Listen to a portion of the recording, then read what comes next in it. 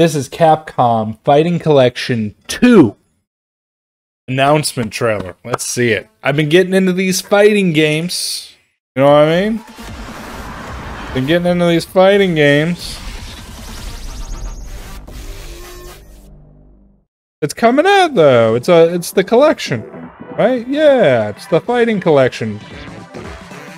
Going to Switch. Oh. Got you. I got you. So I already have access to that. That's what you're telling me. Oh yeah, I was actually... Tell me, should I get King of Fighters 15? It's on sale for $12 right now.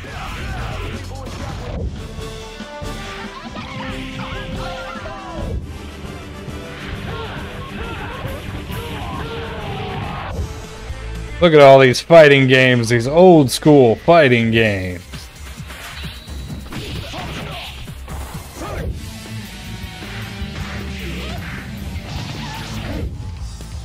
Plasma sword. Oh, that looks actually I'm interested. I've never played that before.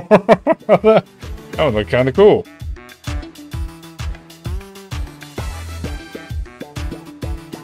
Yaksha, we have questions.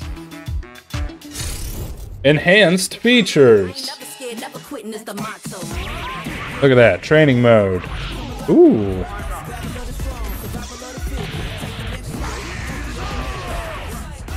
Practice your combos and stuff. Additional filters. Rollback. Netcode. Casual matches. Ranked matches. Lobby matches. High score challenges. You could be the best you you possibly can be in all these old school fighting games. Capcom Fighting Collection 2 coming to the Nintendo Switch in 2025. Looks pretty good.